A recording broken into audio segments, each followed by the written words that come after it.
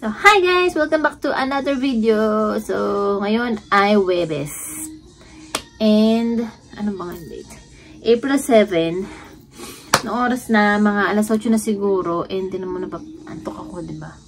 Galing akong work kanina. Nagpa ako alas, alas 5. And, nakikita nyo ngayon sa aking paligid. And, sa harapan ko, hindi nakita. O, basta yun.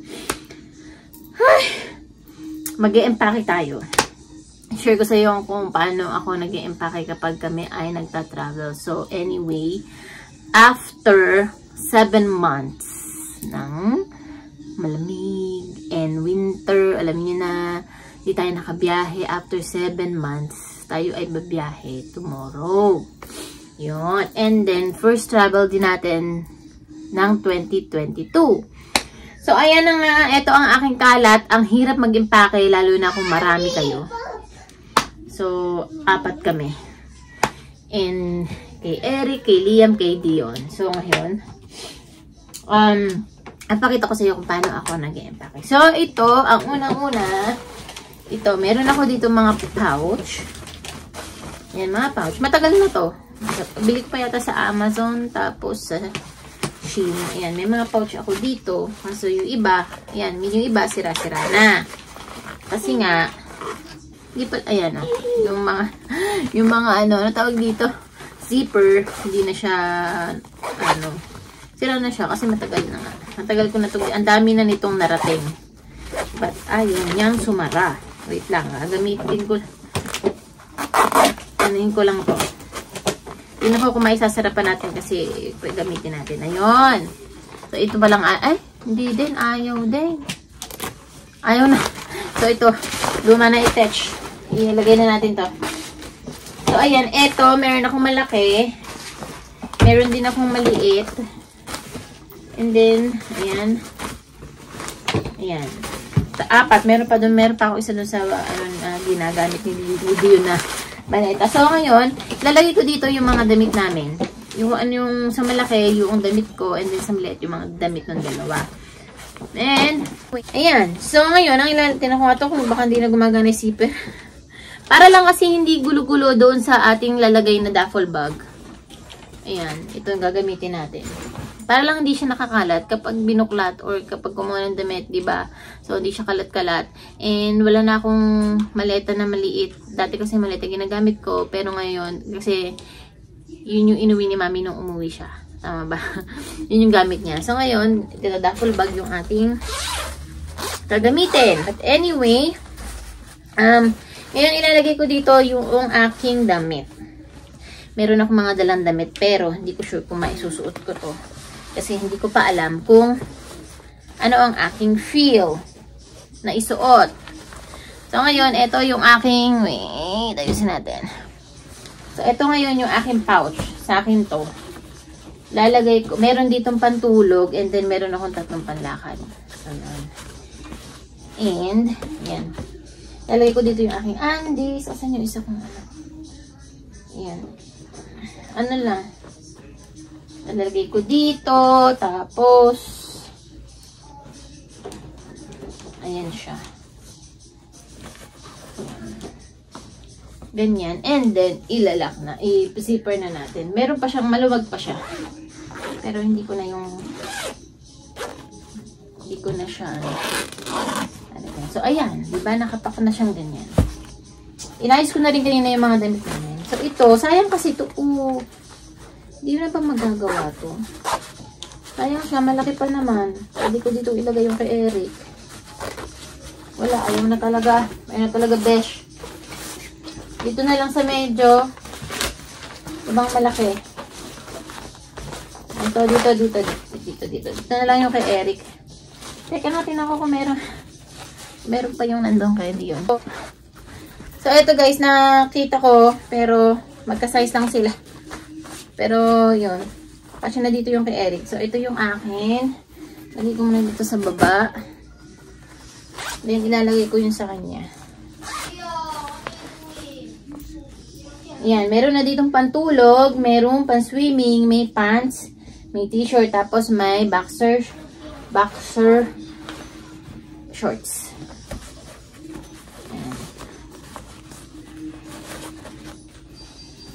Sana magkasya. Hindi ko na siya inayos. Nilagay ko na siya dito ganon. Yan.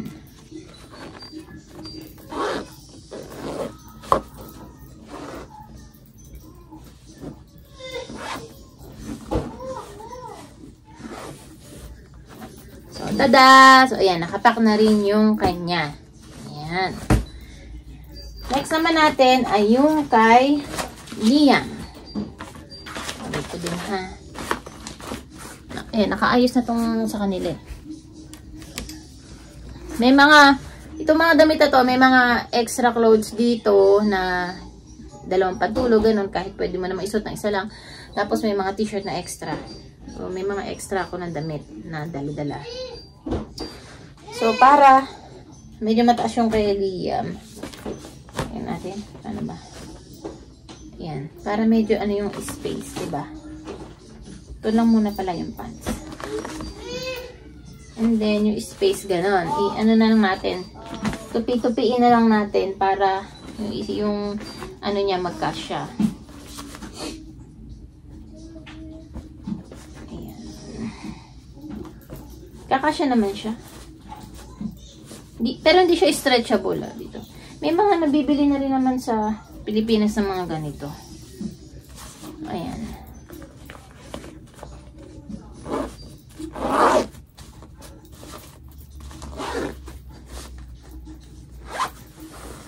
So, ayan. Ito na yung kay Liam. And then, yung kay Dion, ito na lang natin ilagay. Kay Dion.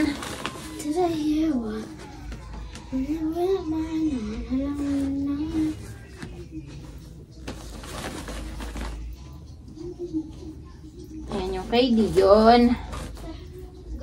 Ayan. So, ayan. Kasi yung kay Dion.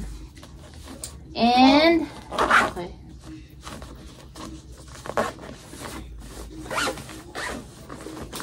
Ayan. Ito na yung kay Dion. Dito naman, ilalagay ko yung kanilang pan-swimming at saka yung kanilang brief, yung diaper ni Dion. Ganun.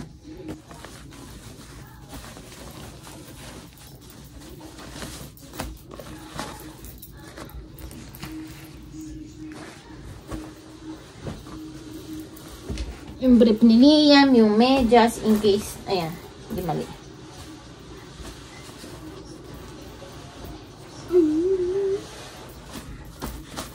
Kahit ano na lang. Then look.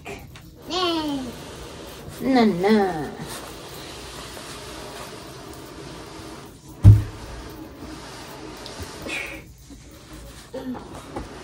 Kailangan ko na siguro mag-purchase ulit ng ibang ganito. Kasi sira na siya talaga si iba. So, see? 'Di ba Ayan. Ngayon, pagtas natin sa mga damit, ito ang aming toiletries. Itong bag na to, ito lagi yung dala-dala ko. Maliit lang siya. Ayan. Ito yung lagi kong dala-dala pag nagbabiyahe ako. Hindi, yung iba, hindi ko na inaalis dito. Katulad ng toothbrush. May toothpaste. May shampoo ng mga bata. Ayan. May lotion. And then, may ano ba to? Shower gel din. Pero di ba may mga shampoo naman sa hotel. So, ayan. Yan, meron toothbrush namin ni, ito siya ni Eric, toothbrush ko, and then toothbrush ni Liam. Yung toothbrush ni Dion, wala pa, hindi pa na ilalagay. And then, meron din akong dalang panty liner, and then napkin in case of emergency. Alam nyo na yon. Meron din ditong um, cotton buds. May kasi si Eric maganon bago matulog, ay bago, pagkatapos maligo. Ayan, kompleto na to. Ano pa ba? Iniisip ko kung ano pa. Wala naman na. Hindi na ako, pag nagta-travel kami guys, hindi ko na dinadala minsan. Pag hindi naman ganun katagal ang biyahe, hindi ko na dinadala yung aking routine na pang ano sa mukha. So, hilamos lang, ganun. Then, okay na. And, hindi naman din ako guys nagme-makeup. So, ang ang dadaling ko lang ngayon ay uh, yung meron din pala akong Lysol dito. Ang dadaling ko lang yung aking powder cream sa mukha and then lip gloss. Yun lang naman. Hindi na ako nagdadala ng iba-iba. Kasi gusto ko pag nagta-travel, yung komportable ka lang. Komportable yung suot mo, kompor komportable yung, alam mo na, yung mga bagay-bagay, ganun. So, ayan. Ayaw na sumara. Then, meron din ako dalang ex, meron din ako dalang jacket na ni Dion, tapos ni Liam, tapos yung aking, ano, um, cardigan. Hindi ko kasi alam kung malamig doon o maaraw, ganun. So, hindi naman siya sa panahon kasi ngayon dito, spring na, so hindi na siya ganun kalamig. In case ano lang to, um, for emergency. And now, sa akin namang, um, sa aking bag, ito yung, ito iba na yung bag na, yung ginagamit ko dati guys na bag na blue. Hindi ko alam kung nakikita niyo sa mga vlog ko nung nakaraan. Yun yung ilang years kong ginagamit na bag na pang, pag nagta-travel ako. So ngayon, pinalitan ko na siya. And sin sinend ko na siya sa Pinas. So, send ko pa lang pala kasi ito yung box ng Pinas. So, ngayon, ang laman naman nito ay papakita ko sa inyo. So, ito ang aking wallet. Ayan. Then, ito ay yung lalagyan ng aking camera. Camera. And then, may charger dito.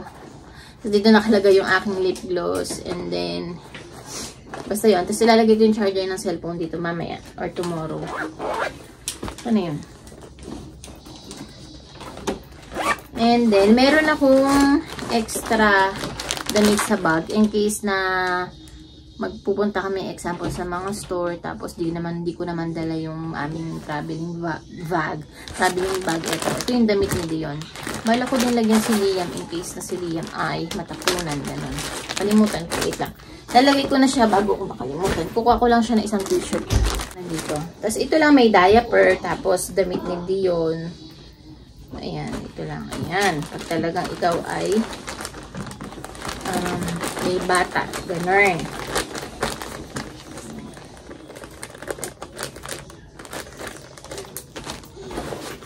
And then, meron ako ditong gamot. May Tylenol siya na pambata. May Tylenol ako. Sa loob nito, Tylenol na pang-adult. And then, ito ay yung zinc in case na feeling mo ay ikaw ay magkakasakit. So, ito yung iniinom ni Eric. Ako din pwede ko inumin to. Diba? Yan, hindi ako nawawala ng gamot ng pambata at pang matanda pag nag-travel. Kasi importante yun. Ganun.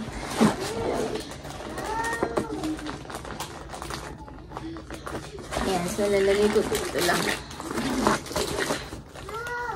And, meron ako dito, so dito naman sa ating compartment na maliit, meron ako dito ipit. Ayan, in case na gusto ipit. Then, ito, meron ako dito um, lollipop. Ito yung mga pansuhol natin sa mga junakis natin kapag sila ay nagtatantrum na at hindi ka na makapag-shopping kasi sila ay iyak ng iyak. Tested ko na yun. Dapat may bago candy and all. Di ba? Yung pagkain. Ganon. So, ayan.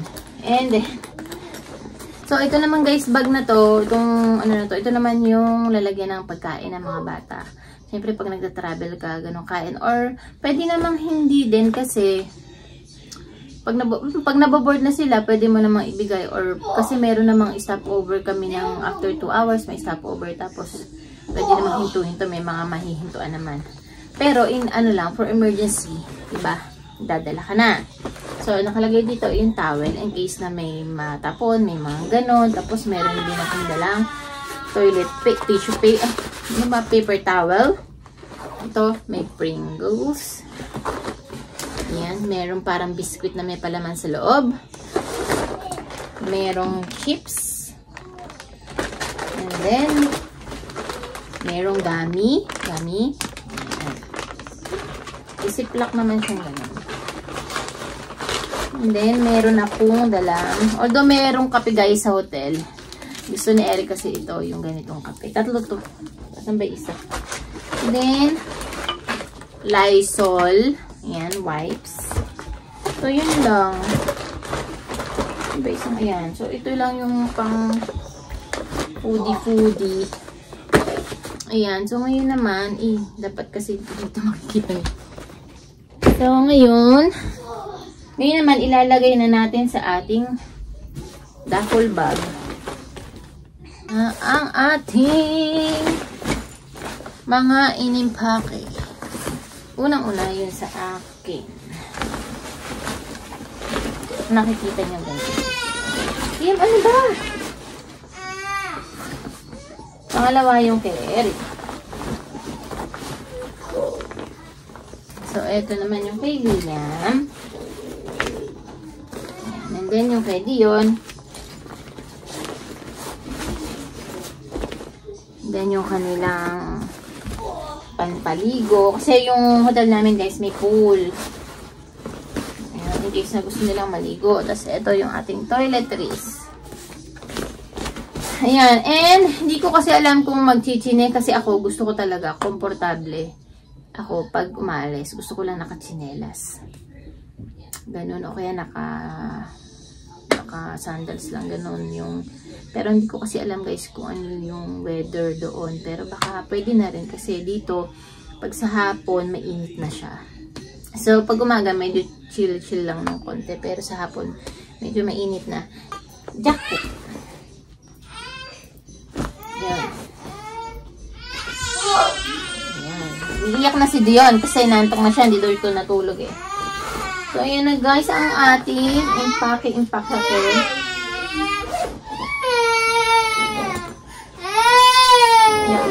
Bakit ba?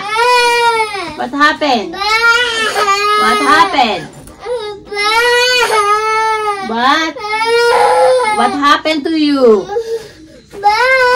What happened? Of course, ginaya ko na rin yung susuot nila tomorrow. Bali, hapon na kami guys aalis kasi matutulog kasi matutulog pa si Eric kasi galing siya ng work tomorrow. So, mga 12, 11 or 12 kami aalis. But anyway, mga 5 hours drive lang naman lang. Pero matagal yun guys. Hindi ko alam kung magdadrive ako o hindi. Pero wag na lang sana. Kasi mas masarap ang pasahero. But anyway, yun na lang ang ating vlog ngayon. And see you na lang tomorrow guys. At patutulogin ko na si Liam. Ay si Dion at saka si Liam para, anong oras na ba? Basta mga 9 o'clock. Para makapagpahinga din, di ba? Kasi bukas biyahe, mapapagod tayo. Oh, what? Kuya, si kuya. What, what kuya did you do to, to you? Ah? Anong ginawa ni kuya sa'yo? Ay, hindi na Oh, tapos na, tapos na si nanay. Doon tayo sa loob, okay?